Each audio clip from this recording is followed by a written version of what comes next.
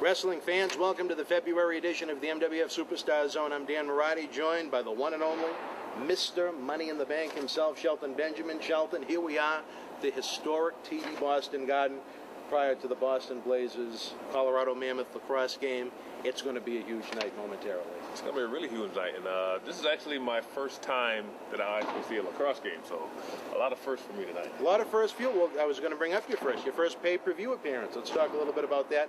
Royal Rumble 2003. You were one of the 30 men that competed in a match that was eventually won by Brock Lesnar. Your memories on a first pay-per-view in World Wrestling Entertainment? Uh, well, my first memory of that match was actually uh, one of my favorite matches of all time was that night when uh, Kurt Angle faced Chris Benoit. Tremendous match. Of course, I, I was a member of Team Angle at that time, and we actually got ejected out of the match before the match started. Before that, myself and my partner, uh, Charlie Haas. But uh, I mean, that's that's the first memory that comes to my mind. But uh, to actually come out my very first pay per view, being the being the Royal Rumble with all the WWE superstars, I mean, for for a kid like me, it was a dream come true.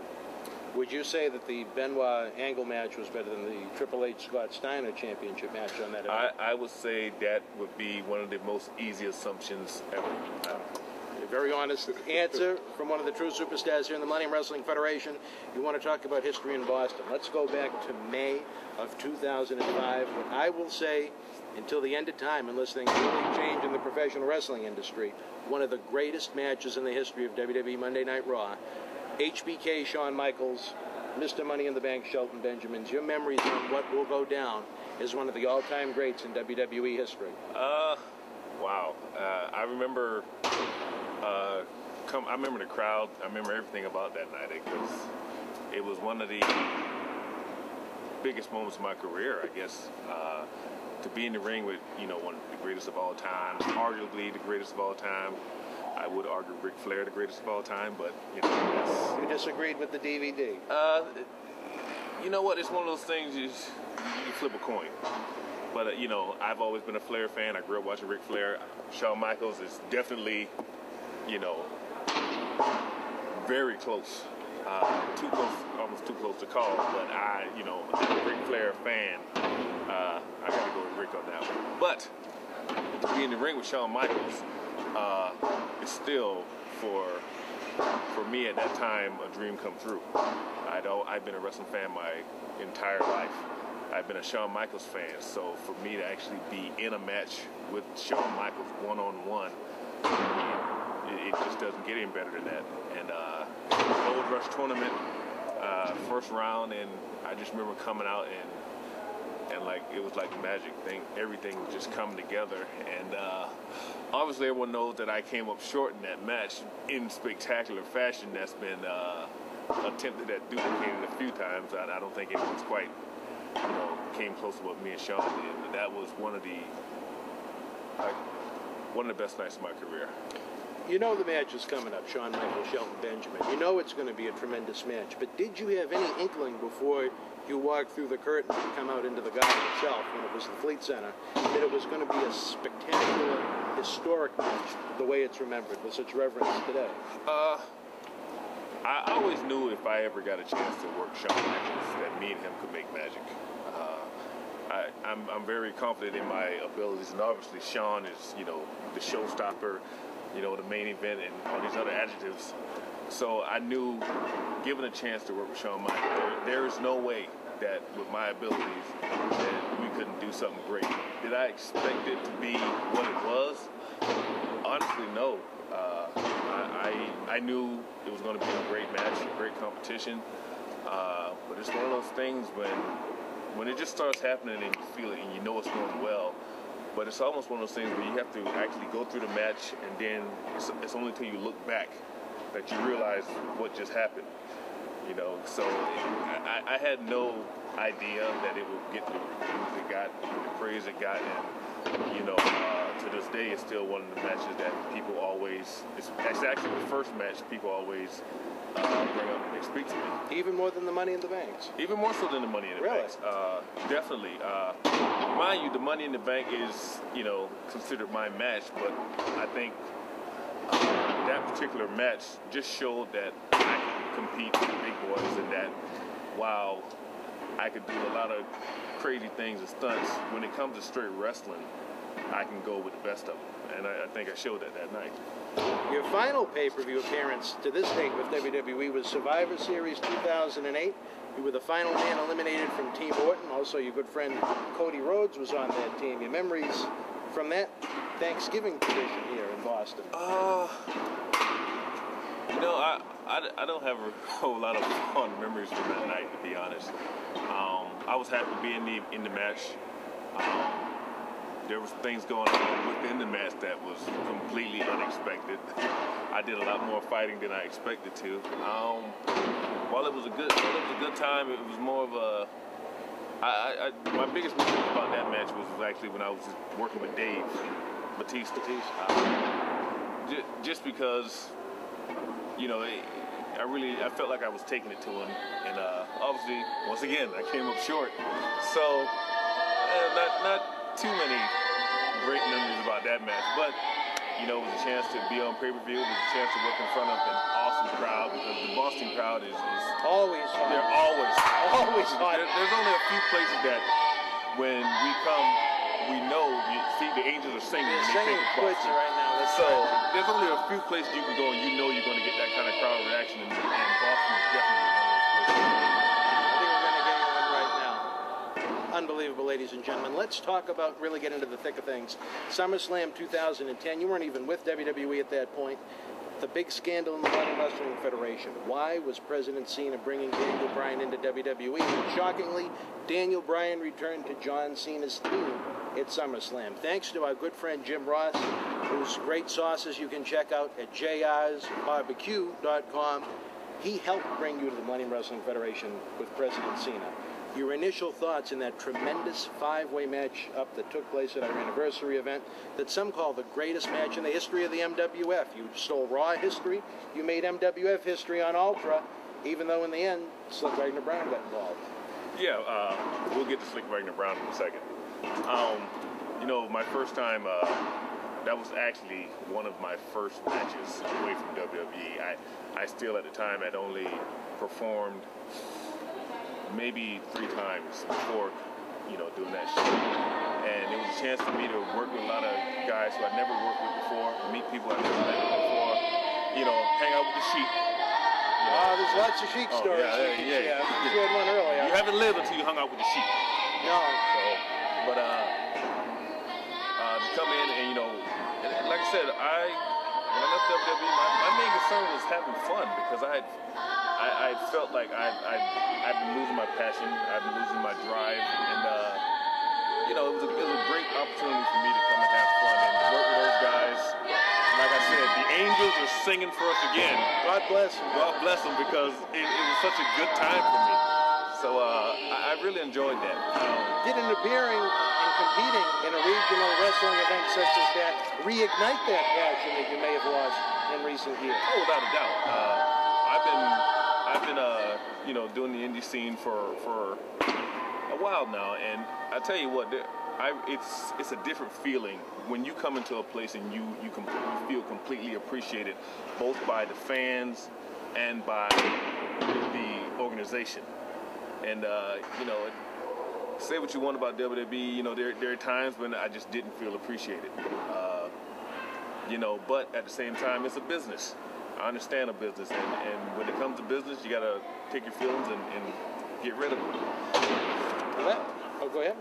No, I was, gonna, I, you know, I was just gonna say, but to come, but to be on regional shows, like I, I'm enjoying myself. I'm having the time of my life, and, and I hope to do a lot more. Well, we'd love to see you here in the Millennium Wrestling Federation, and I think President Cena is thinking along the same lines as he is signed in the main event of Soul Survivor 7, our biggest live event, fan fest, auction, raffles, and so much more to keep the kids off the street in 2011. it will be you against the MWF heavyweight champion Slyck Wagner Brown of John Bradshaw Layfield's Uprising for 15 pounds of gold for the gold standard to perhaps walk away with. Uh, well, now now we're talking about a party. You see, when I came to the MWF, at first I came for fun.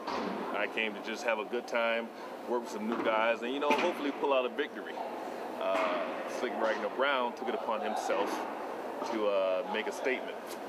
When the statement was heard loud and clear, now you've got the full undivided attention of the gold standard. And the last thing you want is to be in my crosshairs. So uh, now we're talking about championships. When it comes to the wrestling business, I enjoy two things. I enjoy the fans, and I enjoy championships. Slyck Wagner Brown has 15 pounds of gold around his waist that is officially mine. He's just carrying it for me. And as Soul Survivor, Slyck Wagner Brown will relieve himself of my property because he took it upon himself to stick his nose in my match. Could be the MWF TV champion right now if it wasn't for that. Exactly, and you know, I probably would not have been so focused on Slyck Wagner Brown. I would have just enjoyed my time as a TV champion. But since he's taken it upon himself to interfere in my match, cost me a win, cost me a championship, well now Slyck Wagner Brown has it's time to pay the. Unbelievable. It was August of 2003 in this very building. You and Charlie Haas defeated John Layfield and Faarooq, the APA. What are your thoughts about John Layfield's involvement in this matchup? You know he's not going to send a man. He's invested an unknown amount of money in into Memorial Hall in Melrose, unprepared to face him. Well, John Layfield is a man who will waste, he, he will spare no expense, no expense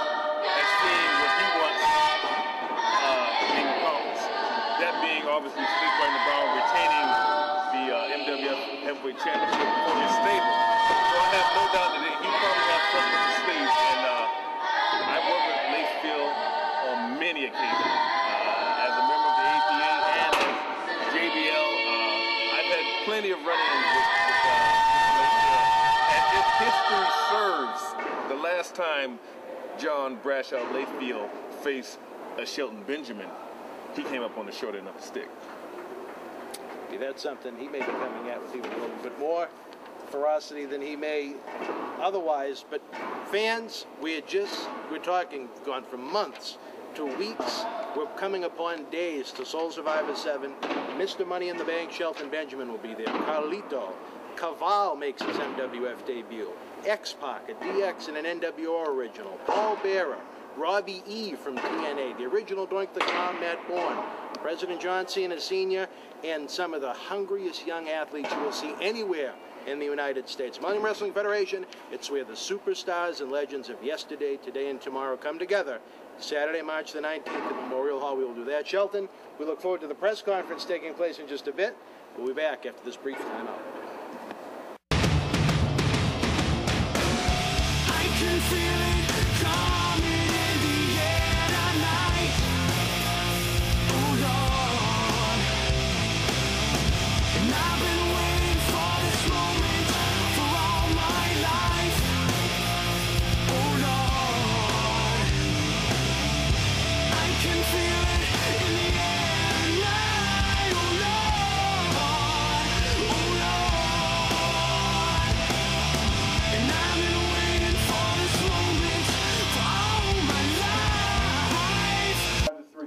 Threat match. You had the champion Diehard Eddie Edwards against Hurricane John Walters against an Irishman named Fergal Devitt. Well, right now, Eddie Edwards, if you have HDNet, he's one of the top superstars in Ring of Honor. Hurricane John Walters, standout in Ring of Honor. Uh, he's also on MTV2's Lucha Libre program. Fergal Devitt is one of the finest professional wrestlers in the world, competing in New Japan all of those folks not the marquee attraction at Soul Survivor 3, so to speak. But again, it's the superstars and legends of yesterday, today, and tomorrow competing under one roof. And that is what you are going to see on March the 19th in our hometown of Melrose, Massachusetts at Memorial Hall. only to be outdone by President Cena the following day, Sunday, March the 20th. We're going to have our Paul Bearer studio shoot interview where the manager from the dark side is going to be joining us for documentary style DVD taping. It is certainly going to be worth every penny if you choose to attend. Autographs, photos, and admission to the DVD taping. And with that, I introduce to you the illustrious, the innovative, the creative, the crafty, a man I disagree with 95% of the time with, but a man who I respect for his charitable endeavors, a lot of the things that the MWF has done over the year with the Make-A-Wish Foundation, um, the Big Brothers, Special Olympics, uh, the money we raised with the Lynn Armory for the troops and the families in Iraq, uh, fire departments, police departments, so much charity work has been done that's been talked about online and it has gone under the table a lot of the times because most of it is done not to try and look for a pat on the back, but all under the auspices of our main focus, which is keeping the kids off the street with action-packed movies come to life, I guess is the best way to present it, which was uh, in honor of the two little people in my life, the MWF junior ambassadors, Brandon J. and Devon Brent, who I wish were here tonight. But nonetheless, ladies and gentlemen, Mr. President John Cena Sr.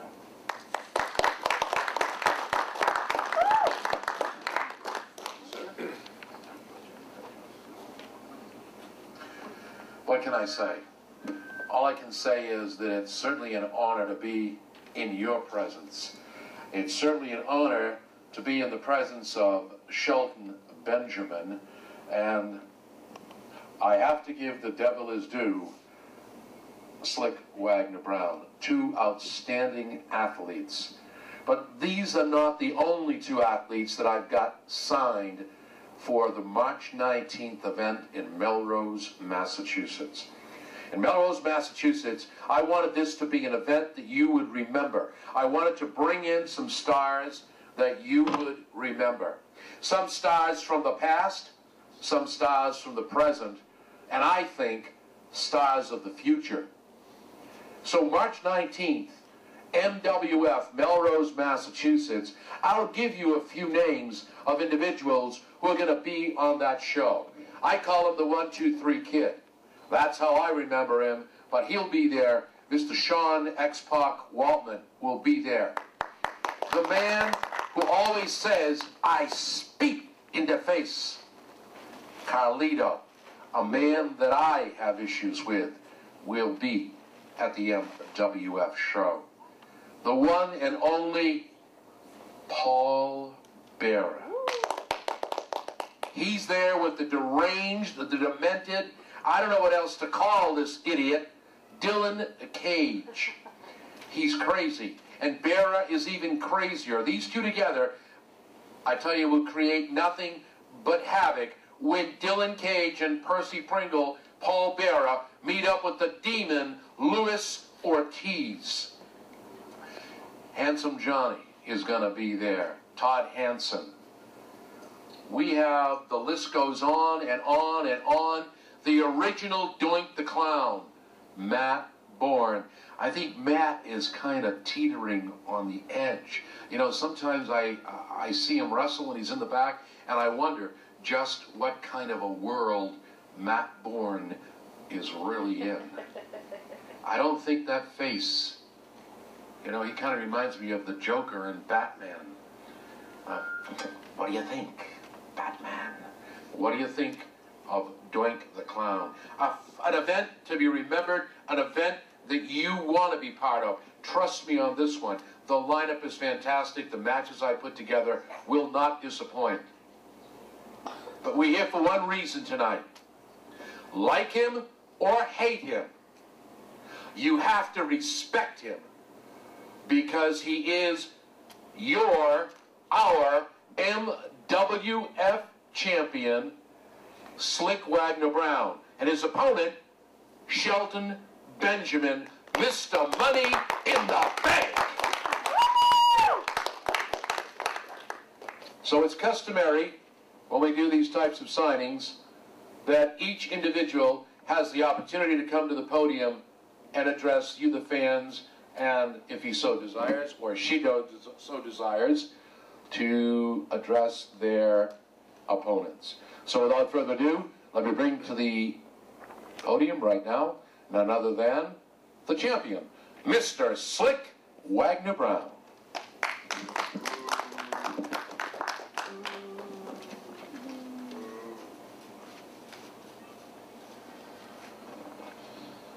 Mr. President, I am the champion.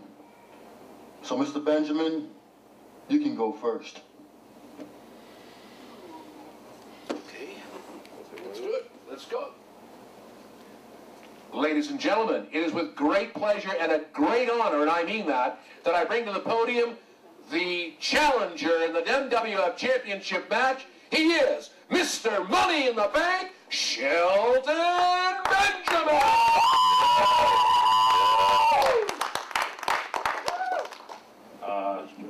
Well, first of all, uh, let me uh, thank everyone who's in, attendance. Um, this is actually this will actually be my second uh, match ever for the MWF, and it's an honor and a privilege to be able to face their champion, Slyck Wagner Brown, who I'll address further later. Um, as a lot of you know, I'm a w, former WWE uh, superstar. You might not recognize me, me without the blonde hair, but uh, but uh, you know those those days are, are behind me eh, for the for the foreseeing future. Uh, but I have a lot of uh, history wrestling in Boston.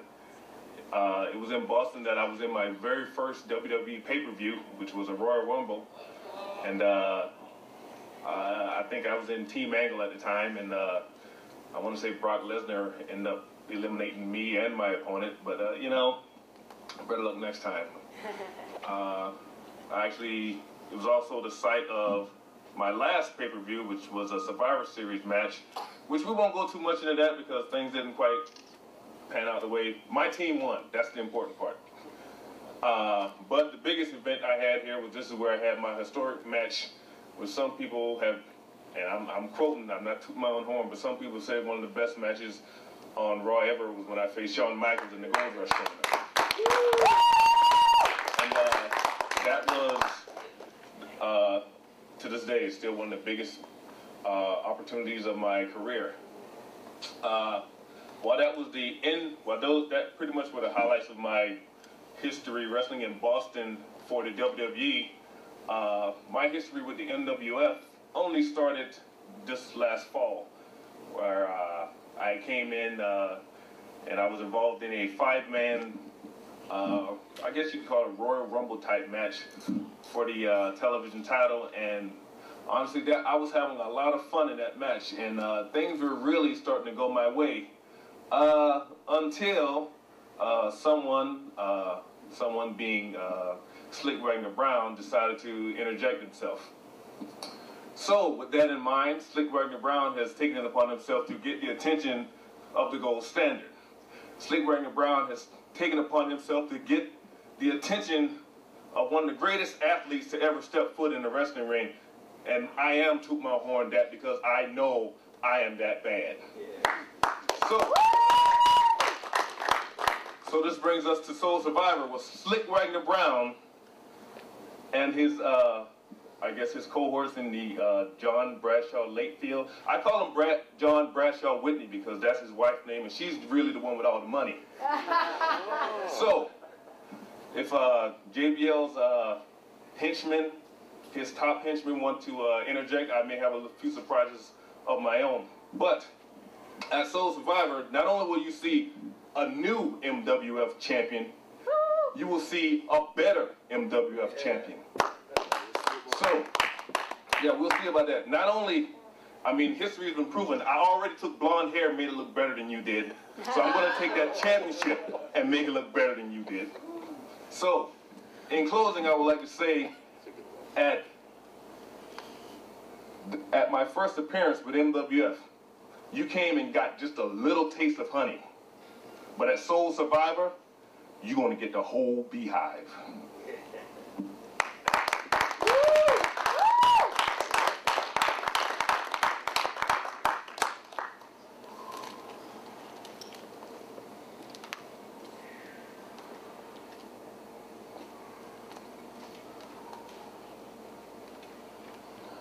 Mr. Money in the Bank, huh? I had no idea you're such a comedian.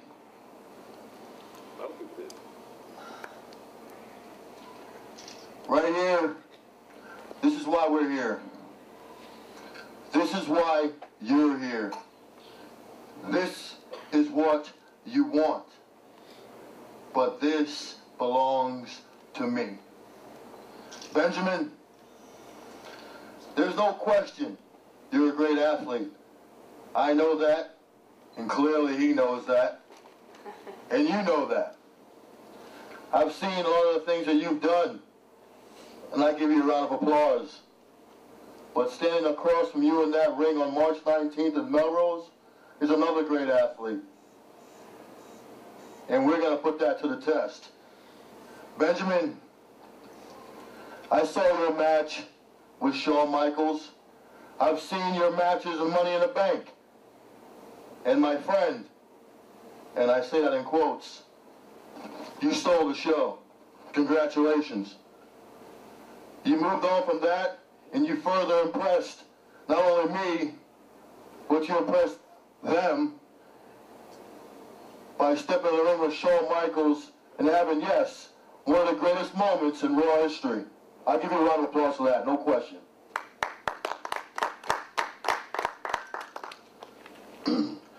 but Shelton, all those moments, all those moments, we'll get back to that. Let's talk about something more important. Let's talk about me, the champion. I got one man in the corner over there that has an ounce of brain. You people might want to sit with him after the show. Benjamin, I was trained by one of the legends in this business. I was trained by Killer Kowalski. You people come from Boston, you better give it up more for a legend like Kowalski. That man, he went in the ring, there was no nights off. And that's going to be me on March 19th. It ain't going to be no fun time. It ain't going to be no vacation. You come for my title, I'm coming for you 100%. Benjamin, on March 19th, you're stepping in the ring with a man that has not only competed all over the United States, you're stepping in the ring with a man that has competed all over this world. I have competed for IWA Puerto Rico. I have competed in, in England with All-Star Professional Wrestling. I have competed in Japan for New Japan Pro Wrestling. I have competed in Japan for other companies as well. And you know what? All those experiences is the reason why I'm standing here with you tonight as the MWF Heavyweight Champion. Benjamin, I talked about all your accomplishments. I further educated you and all these morons about my accomplishments. And on March 19th, in Melrose, Massachusetts, when you step in the ring with me, SWB, the Underground King, your MWF Heavyweight Champion, all those moments I mentioned before are going to have one thing in common, and that's you losing. Because despite the fact that you are a great athlete, you are also a loser. And on March 19th, I'm going to prove that to every single one of you, especially you, Mr. Benjamin. Yeah, help me out there. Go ahead. Yeah. Loser? Loser. I, I, I, I, I, uh, What's that? Huh? Do what? Huh? Yes. Huh? Like this? Right here? uh-huh. You got a look at it? I want You you like to, that? I want you to, Yeah. I want you to take real good care of that for me. I am. I am. I keep it nice and neat. Keep it nice and Shine, shiny. shine up real nice. Yeah. It might just get twisted sideways. Oh, yeah? Ah, And end up around my waist? mm, probably not. Yeah. Probably not. I can't wait for March 19th. Oh, I can't either. This is gonna be a Whoa, moment. whoa, guys, guys, You know, that's it. All right. Just because you're not to be physical. Whoa, We don't want any physicality here, not now. Let's see. Well, you know, the fans might get a little more than they want. Who's got the contract? Let's go. Sit down. If you want to sign this contract, then there'll be no match. I think you Sit know down. better to get physical with that. You want to get paid for it. I'll pay you just to whip your ass. Whoa, all right.